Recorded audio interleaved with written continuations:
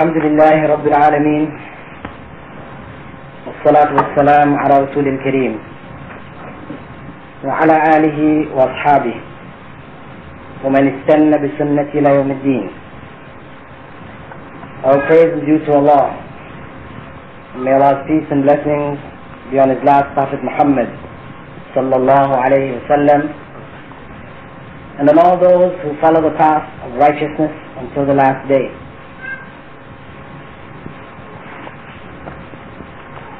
The topic, as my brother mentioned, concerns the commitment of the Muslim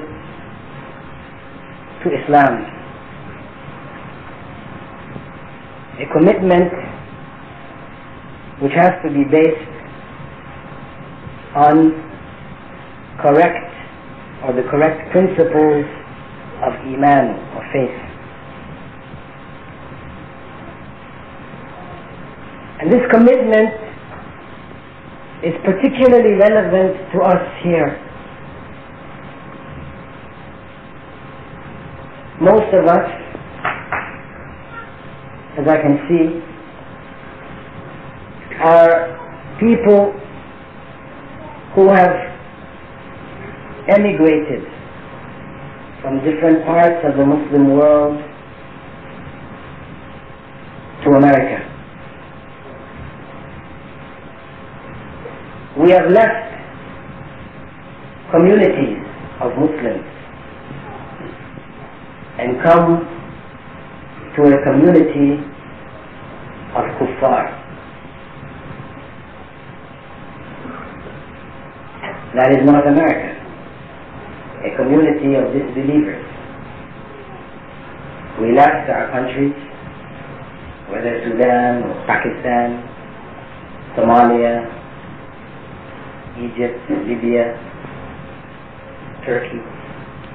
All of these countries, though for the most part they were not Islamic countries in the sense that Allah's law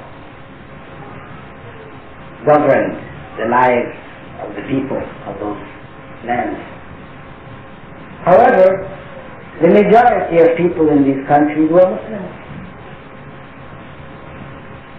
Communities of Muslims. And to leave a community of Muslims to go and live in a community of non-Muslims is abhorrent, despicable, ruled by scholars to be haram, fundamentally haram, forbidden, sinful. Unless one has a justification. For most of us, we came here to get a piece of the American pie. That's the reality. We weren't satisfied with the Pakistani pie or the Egyptian pie. We wanted something of that American pie. So we left our lands and we came here. This hijrah,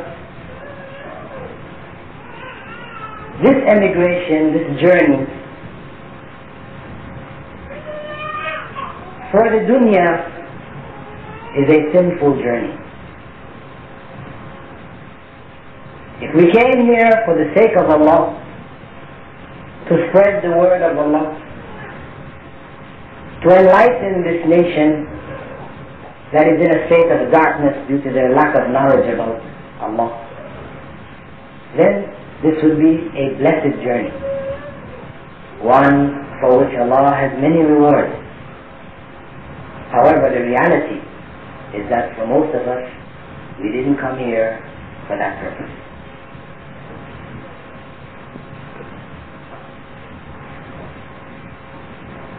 We have, however, an opportunity.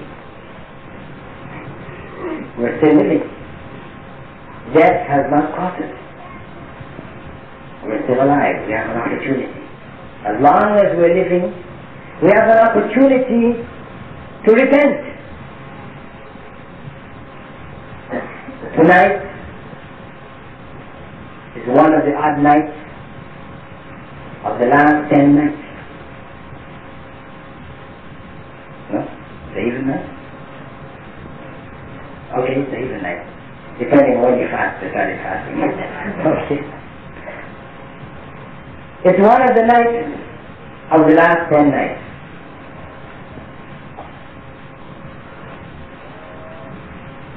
Among which is the night of power, Laylatul Qadr. Worship in that night is worth the worship of a thousand months. Something worth striving for. We don't know exactly when the night is, so that we would make a greater effort. We don't just choose one night. Some people have said it's the 27th already. So maybe they don't pray all during Ramadan until the 27th. But this is not really the case. It is a night. It is a night of opportunity.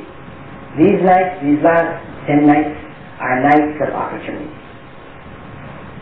Beginning with tonight, we have a chance to gain a mighty reward,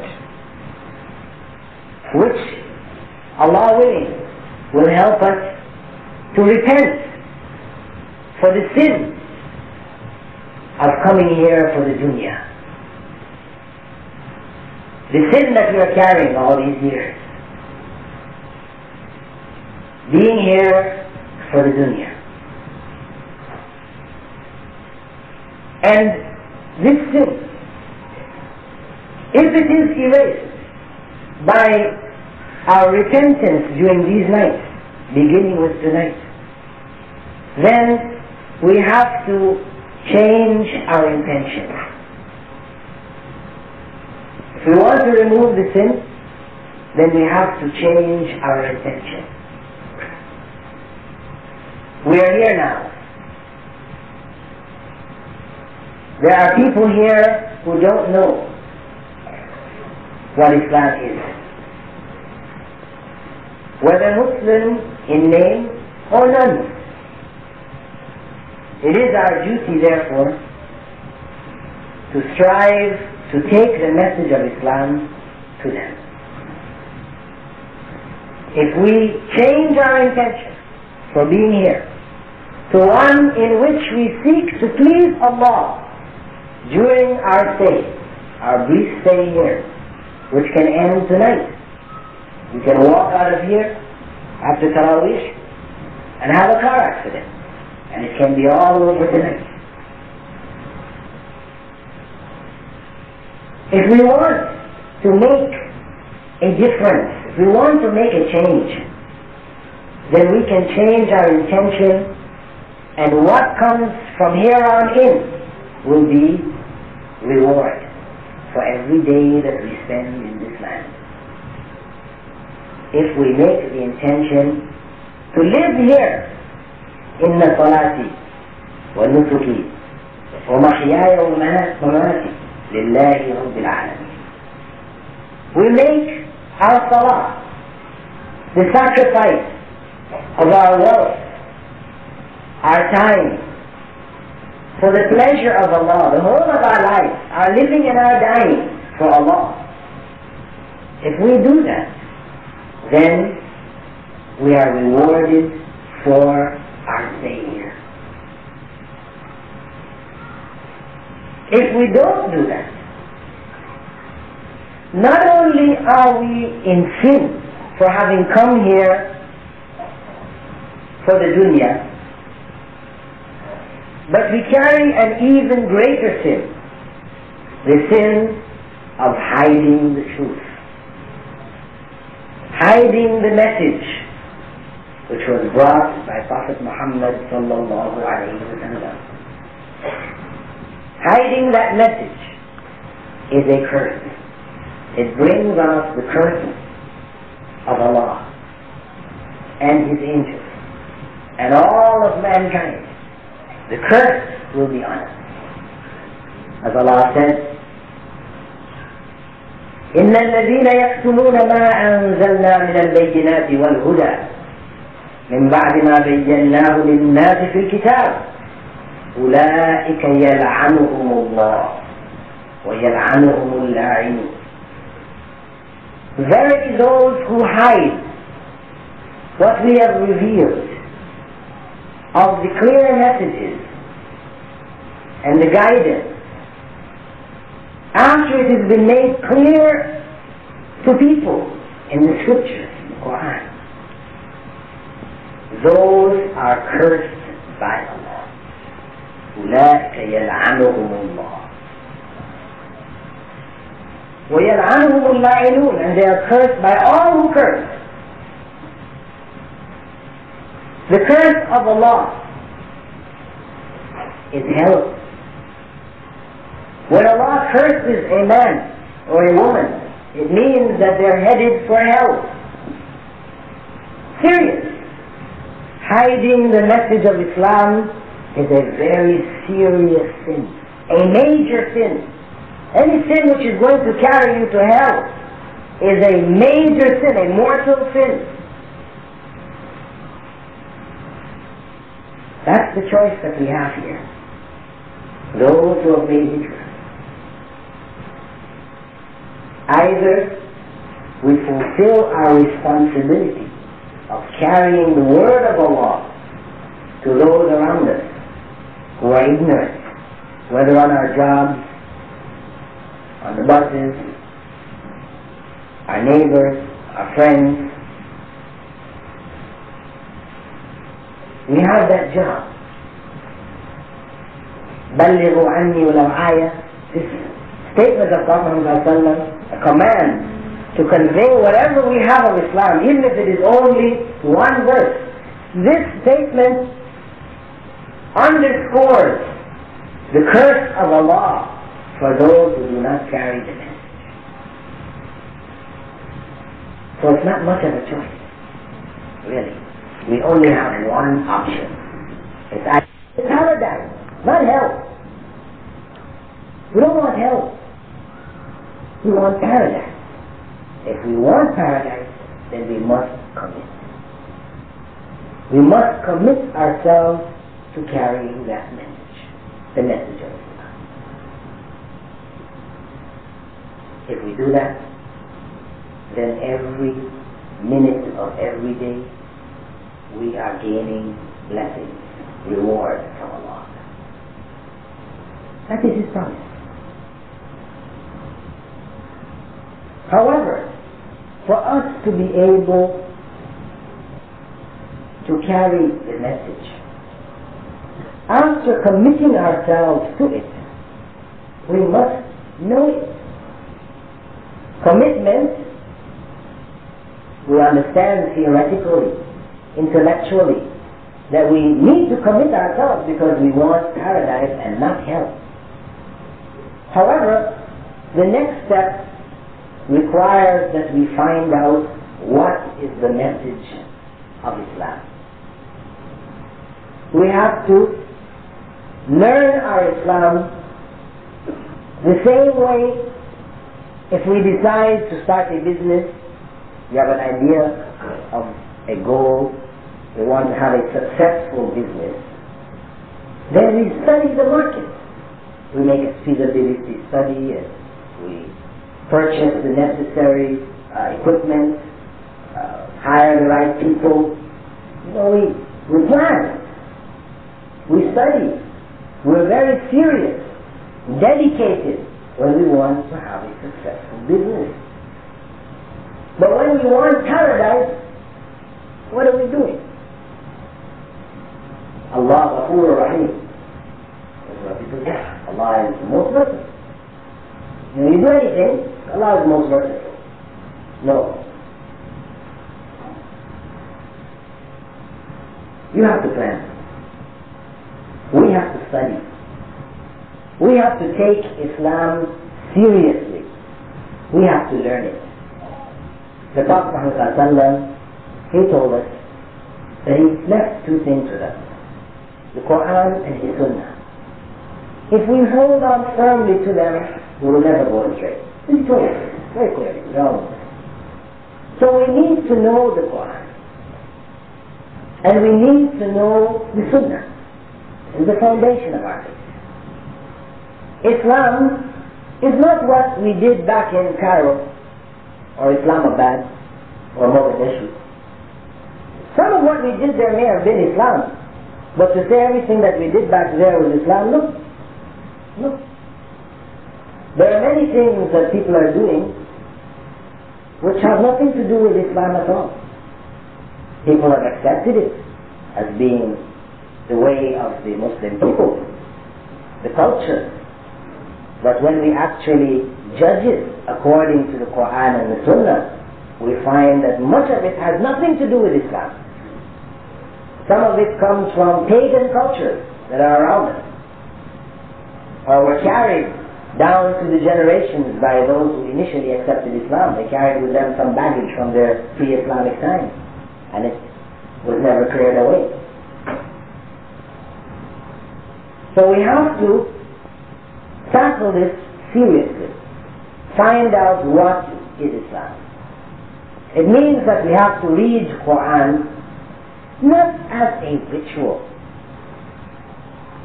Those of us who come from lands where we don't learn Arabic as a language, but we learn it just to recite the Quran.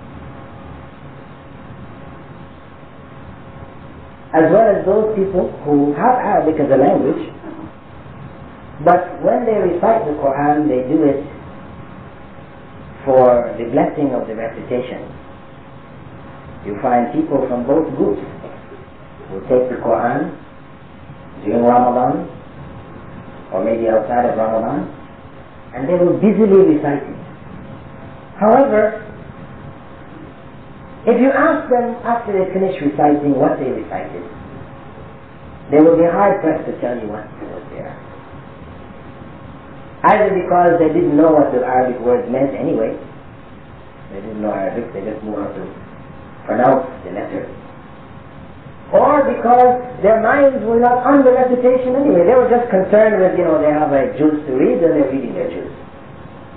Get over with it as quickly as possible. So they're reading at, you know, 90 miles an hour. Nothing is going in the head. It's just their mind is someplace else. They're planning for whatever after they finish reading. They have to go to work and this is not the way.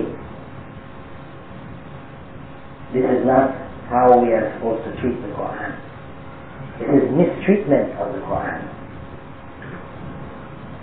This kind of mistreatment will turn the Quran and our recitation of it into a curse against us on the day of judgment.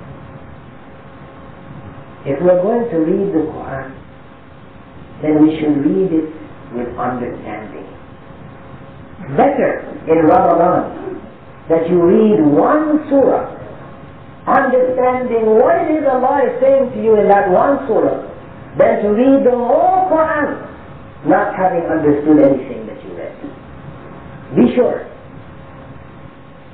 Be sure that even if you read one verse, one single verse, and you reflected on the meanings, understood it, and tried to make it a part of your life, that that is worth more than reading through the whole Quran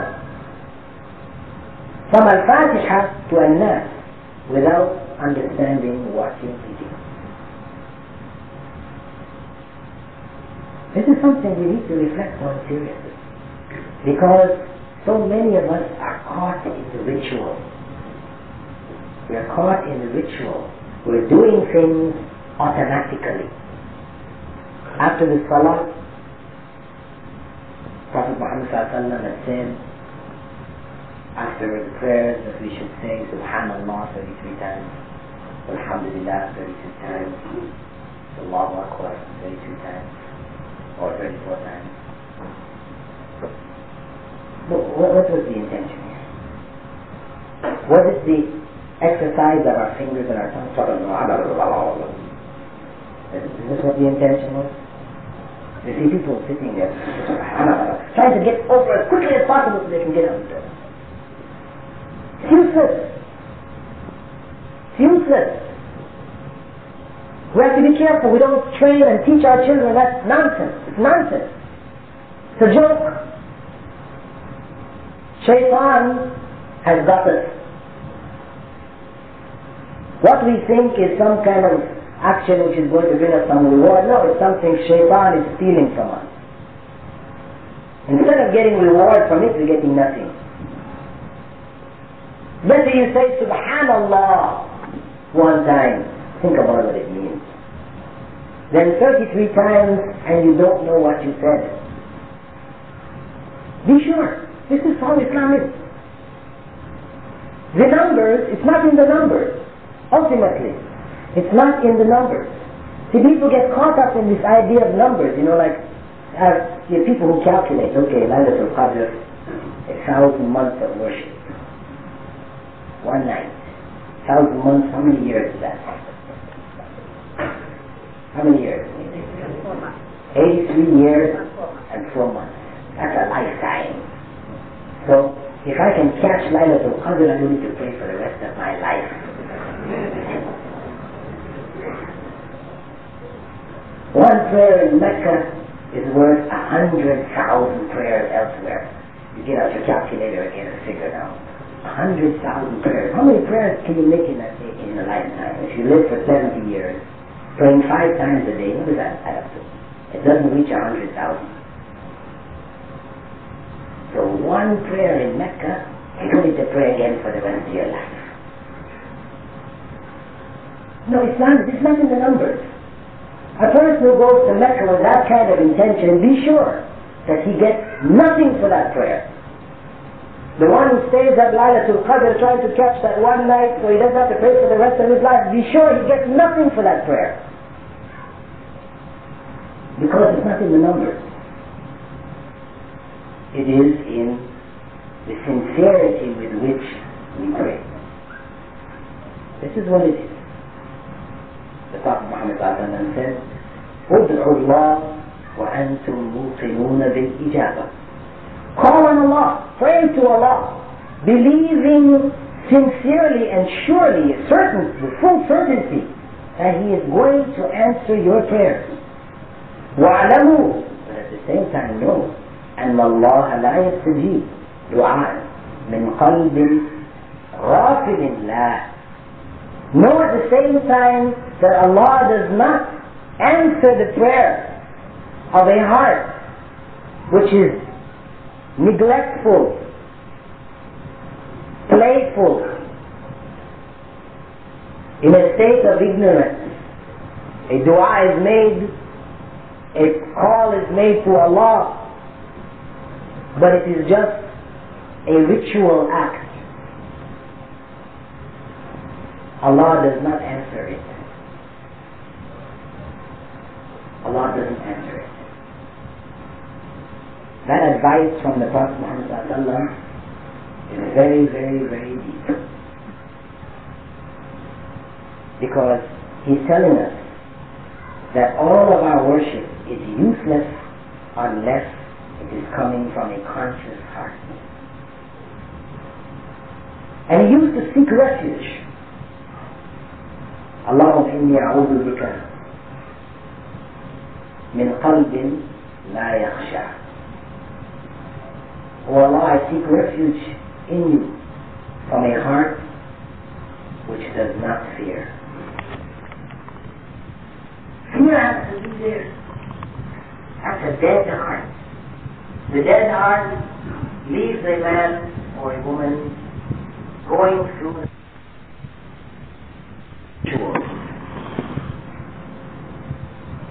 which will not take us anywhere but to hell.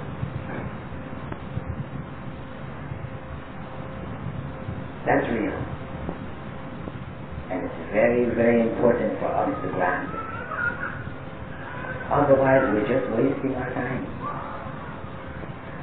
So our commitment to Islam, our commitment to Islam means that we have to do whatever we do of Islam with full sincerity. Really from our hearts. Knowing Allah.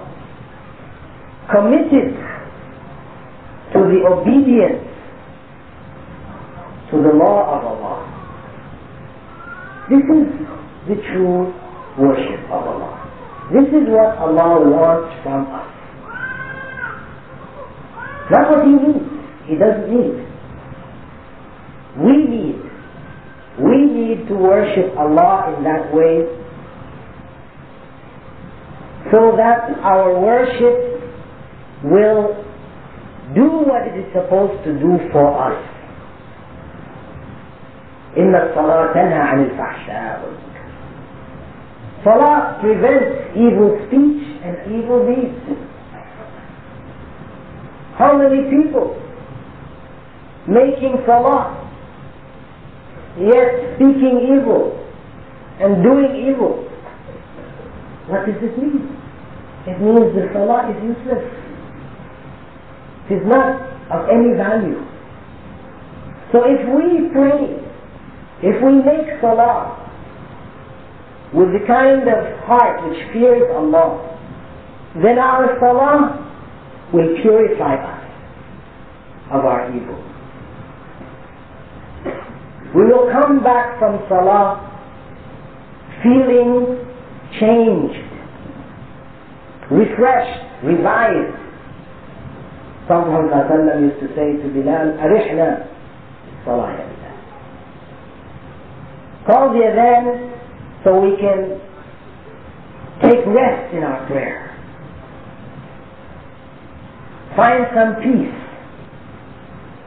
For us, the prayer is a burden. Getting up for Fajr is a struggle. We try to pray and get it over with as quickly as possible. Where's the rest? Where's the peace? ألا بذكر الله تطمئن القلوب. Where's the rest? Where's the peace?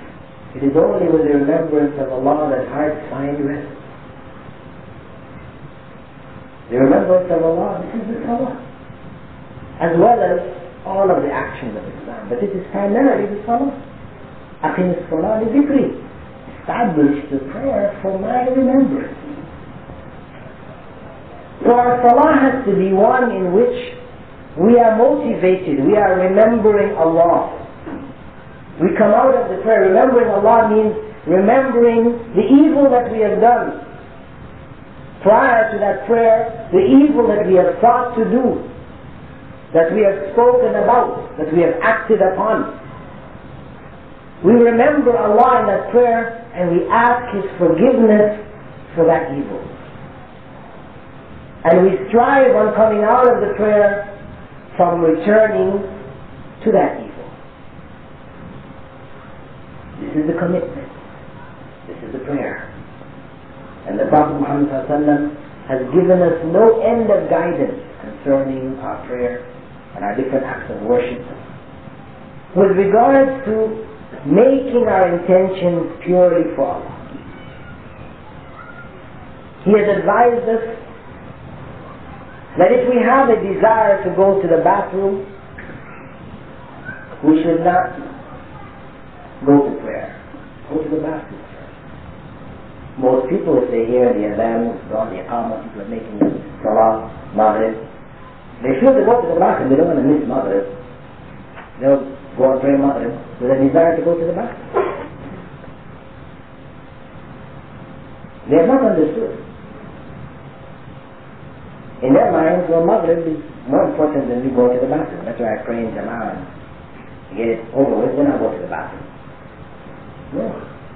Because if you go to the bathroom, if you go to Maghrib, with a desire to go to the bathroom, what's going to be on your mind during your prayer?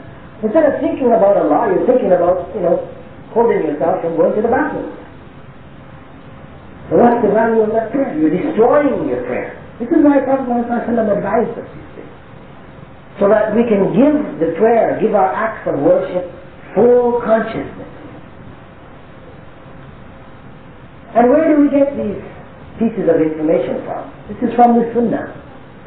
That's why we must study the Sunnah.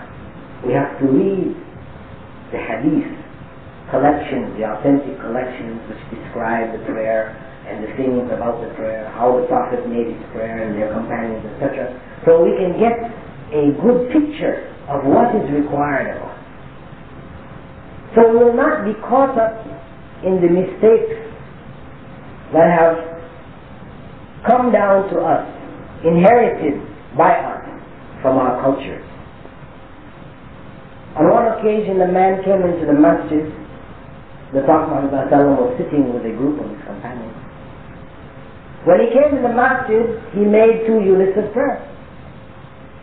What we now call Tahiyyatul Masjid in obedience to the Prophet ﷺ command إذا دخل أحدكم المساجد فلا يجلس حتى يصلي ركعتين If any of you enter the masjid do not sit down until you have prayed two units of prayer. Important. So important that the Prophet ﷺ during the khutbah of Jum'ah a man came in and sat down. And he stopped the khutbah and asked the man, Did you make your two units of prayer Before sitting down? And the man said, No. And so he said, Get up and make your two units of prayer. He stopped the khutbah to tell him that.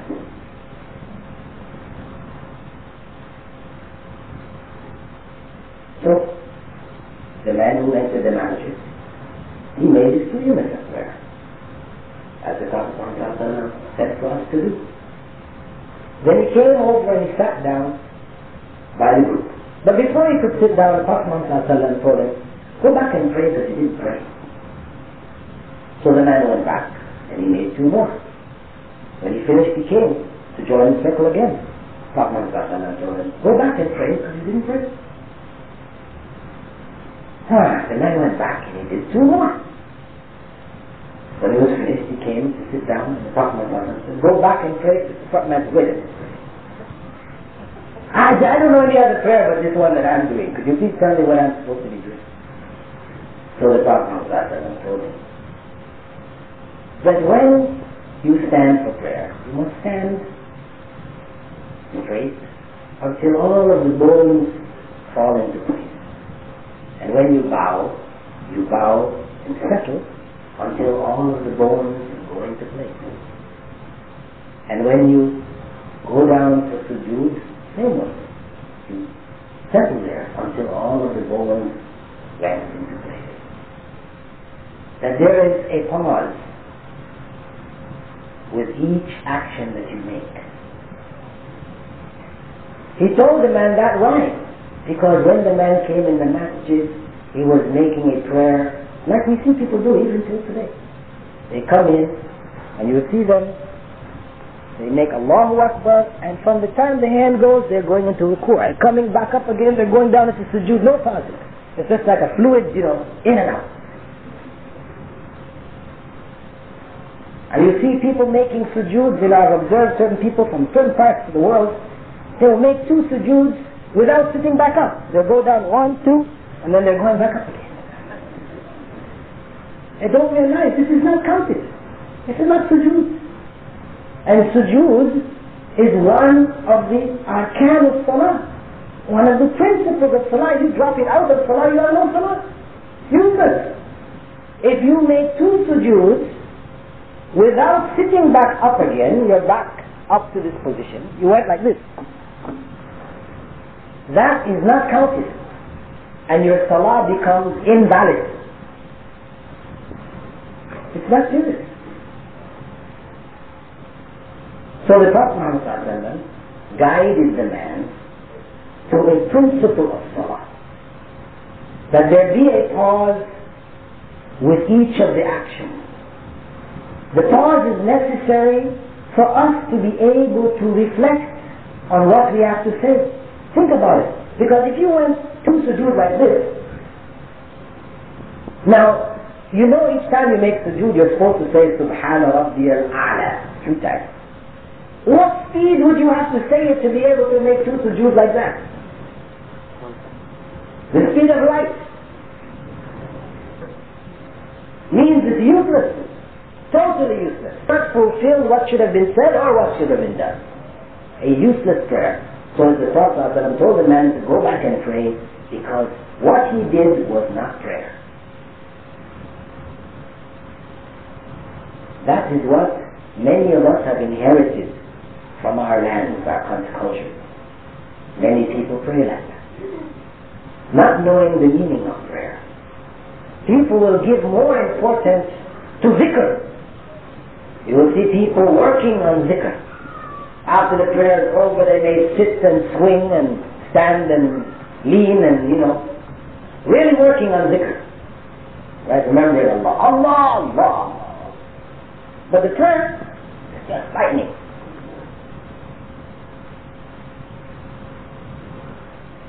So, how do we know? How do we know that it shouldn't be like that? We know by reading the books of the Sunnah, by going back to the source of Islam, finding out what did the Prophet Muhammad have to say about Salah. What is the guidance that he had to give?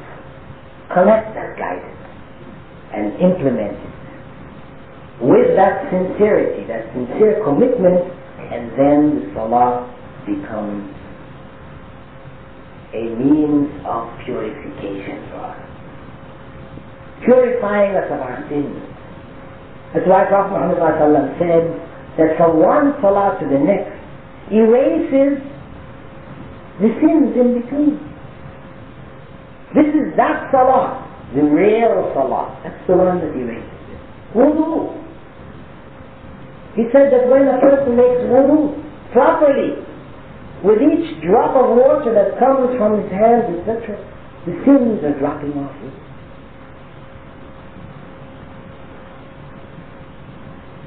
This means a special kind of wudu. And this is not a secret. You know, some people might want to tell you this is a secret wudu. There are some secret words that you need to say to make this kind of wudu. And only we know it. You have to join our group to find out the secret words. No. We don't have any secret words here. The Prophet ﷺ, he told us, تَرَكْتُكُمْ عَلَى مَحَجَّةٍ بَيْضَاءٍ I've left you on a clear white sheet. ليلها كنهارها Its night is like its day. لا يزيغ عنها إلا هالك Anyone who deviates from this, forming his own special little club with special words, he deviates into destruction. Islam is clear. No secrets. There was no special things that Prophet Muhammad said to Abu Bakr when they were in the cave. You know, people have a little fairy tale that they made up. They said, you know when Abu Bakr was in the cave with, with Prophet Muhammad The Prophet Muhammad he revealed to Abu Bakr some special things. He never told anybody else. And Abu Bakr, he handed it on to so and so. So and so handed it on to this one, to that one, till it came to my sheikh. My sheikh has that secret message which the Prophet gave so I tell them to Abu Bakr in the cave. Nonsense. It's lies. The message was a clear message. No secret. No shortcut. Because that's what all these secrets are. Shortcuts. You want to go to paradise? You don't to do all these five times daily prayer and all. We have a shortcut here for you. You just say these special words and you do these special things and take it to paradise. Believe me, it's a ticket to hell. That's what it is. Shaitan has got you. If you believe you have a special way to paradise, which the Prophet Muhammad did not tell the rest of the nation, then I'm telling you that Shaitan tricked you and you are going on a path to hell. There are no shortcuts in Islam. The path is a difficult path. It is a struggle against our desires for shortcuts, for the easy way. The Prophet said that hell is surrounded by the pleasurable things to our desires. And paradise is surrounded by the things we don't like. Getting up for Fajr, What is pleasurable to us is to sleep on. Shut the alarm off and take some more. What is difficult is to fight it and get up. One is the path to paradise, the other one is the path to hell. No shortcuts. Beware of shortcuts. In Islam, there are none. The way of Islam is very clear. It is explained by the Prophet Muhammad in his Sunnah, in his words and in his actions. He has explained carefully for us the way to paradise. And beware of anybody who comes with a new way, a new way which he claims that the Prophet told him in a dream. You know? Beware. Because the Prophet Muhammad before he died, he said very clearly to his companions, ما تركت شيئا يقربكم إلى الله إلا وأمرتكم به. I didn't leave anything which will bring you closer to Allah except that I commanded you to do it. Every way, every act, every saying, every word which is pleasing to Allah, which will help us to get closer to Allah, the Prophet Muhammad has told us. Nobody to bring any new one. It's complete. The religion was complete with the Prophet. No secrets, no shortcuts, no new ways. One way.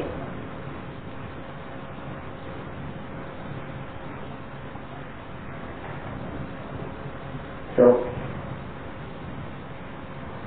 for our own sake, on this blessed night, among the nights of Ramadan, let us try to renew our commitment to Allah. To seriously search ourselves and question what kind of Islam have we been practicing till this point? Has it been real Islam? Coming from our hearts? Or has it been ritual Islam? Where our limbs have gone through different motions and movements, but our hearts were elsewhere. And let us try in the remaining prayers of the night to make these prayers real prayers to Allah and take the benefit. The great additional blessings which the Prophet Muhammad has promised us for staying up in prayer with the Imam. Let us not allow this opportunity to escape us. Let us not allow any opportunity after this to escape us. Every prayer that we make, every fast that we do, let us strive in this month and in the months to come to make our Islam a living faith, a faith which will purify us of our sins and will earn for us paradise. Let us strive. Let us strive for it. It doesn't mean that with the slightest effort everything comes. As I said, it is not an easy path. It is a path that we have to struggle with and strive for. We have the rest of our prayer to make, and so I hope that you would do it with the kind of commitment that I'm sure you all know is necessary. And that you would strive in the rest of the days and evenings of Ramadan to read the Quran with the kind of consciousness that will benefit us from our reading. And that we also strive to avail ourselves of the Sunnah, to be exposed to the implementation of the Quran. The living Quran is the Sunnah. I know some of you have some questions you'd like to raise, but the administration has a program which needs to be fulfilled. And for the sake of those people who have other commitments, etc., let us now complete our prayers. And after the prayer, inshallah, I will sit for, you know, some 15 or 20 minutes and answer uh, or discuss with you certain other points that perhaps you would like to ask about or discuss. سبحانك اللهم وبحمدك أشهد أن لا إله إلا أنت أستغفرك وأتوب إليك.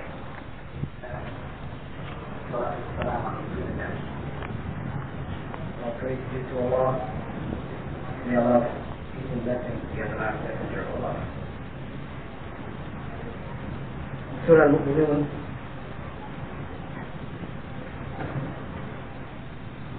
The last verses which our brother read.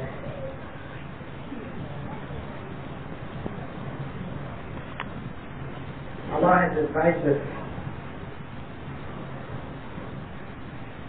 to seek refuge in Him.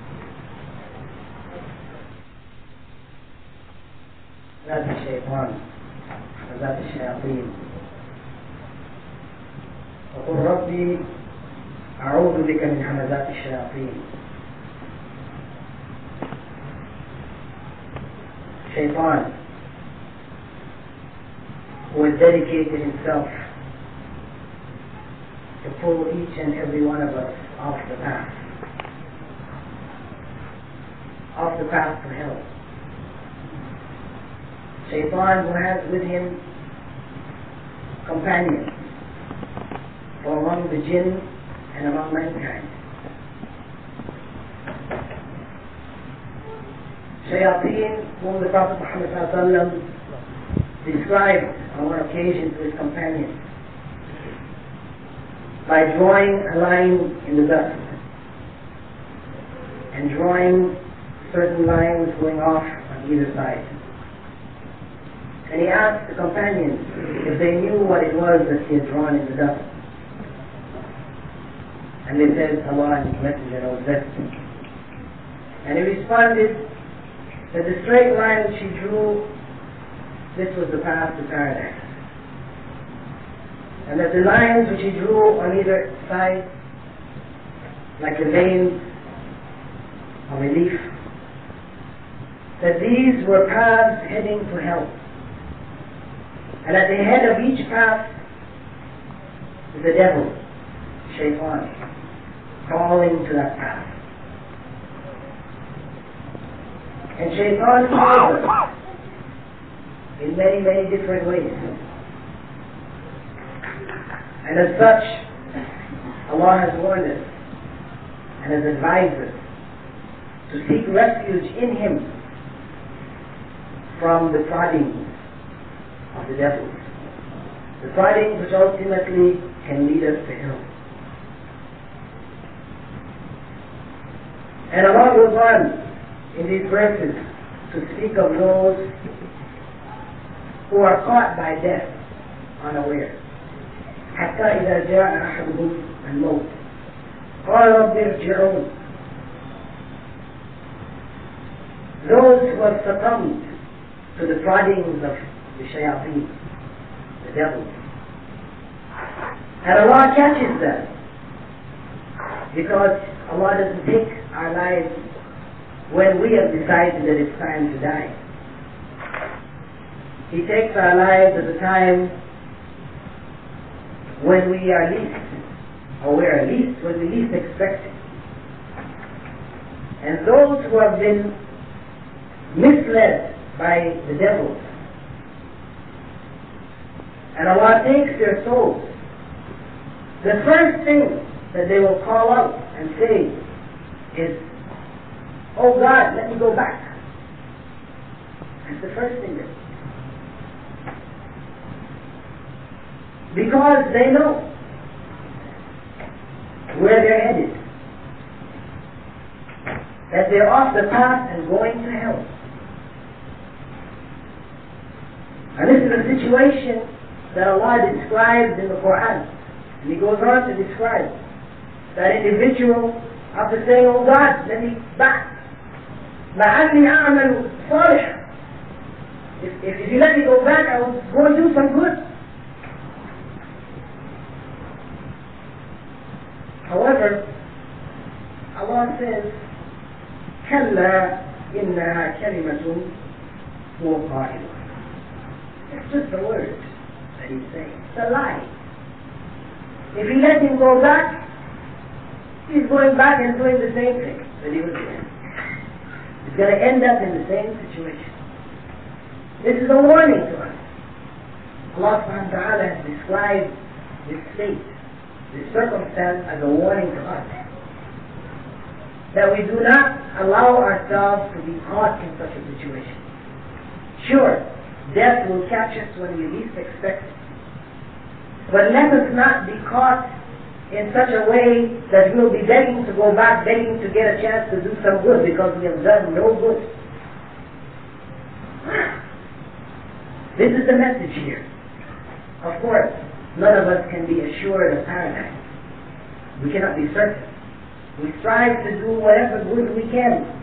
And we're doing some evil deeds along with it. But Allah has promised, إِنَّ الْحَسَنَاتِ يُذْهِبْنَ السَّيِّئَاتِ So we have a chance. Good deeds erase evil deeds. So we try to do as much good as we can. So at least when our soul is taken, we're not caught in this situation. And good deeds are the deeds which are pleasing to Allah. The deeds which have been defined by the Messenger of Allah as being good deeds. Not necessarily what we perceive or what we imagine to be good. The criterion for determining good and evil is the way of the Messenger of Allah. He came and described it for us. So we need to know what are the good deeds so that we may do them. And know that in doing them that they are pleasing to Allah. However, there is one point that we can be sure of. No matter what the deeds that we do, whatever good deed that the Messenger of Allah sallam, has described for us, in his actions or in his sayings. For it to be considered a good deed to Allah, relative to us, it must be done with ikhlas, with sincerity. It has to be done from our heart. And that comes to what we're doing here tonight.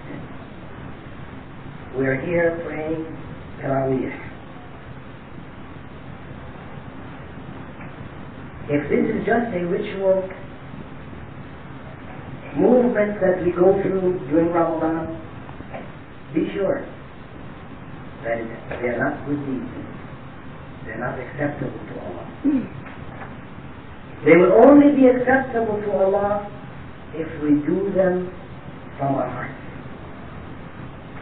If we make these prayers sincerely from our hearts glorifying Allah. Those of us who do not understand Arabic, and this is a problem. Our Imam is reciting, and the verse is so powerful that it moves him to tears. And half of us here don't even know what he's saying. What it is that has moved this man to tears. So it's very important for us who don't know Arabic to try and learn Arabic. So that we may also be moved to tears, crying for the sake of Allah. Crying because of what we might find ourselves in. But at least, if we don't understand what the Imam is saying, at least, hearing the Quran, we reflect on Allah and we try to glorify Him within ourselves. Don't let the recitation go on and our minds are thinking about the iftar, the nice food we ate, what we plan to do after we leave. Let not our minds go away, but try to to reflect on Allah and glorify Him, give thanks to Him.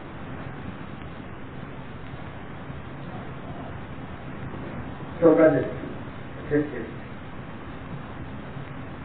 let us try our best, we are not already striving to put some life into our ibadah, into our worship. Bring it to life. Make it from our hearts. Let it become a living practice which can have an effect on us.